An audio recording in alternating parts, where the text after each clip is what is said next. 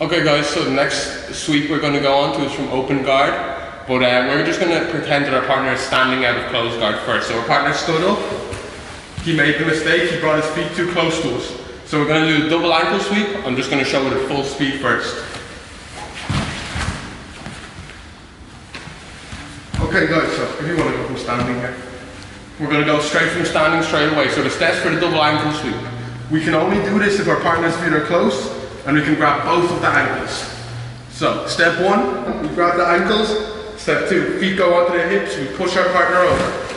Step three, our legs go in the middle, we stand up and we're ready to pass. One more time at full speed, we'll go for close guard again. So our partner stands up, they brought their feet too close,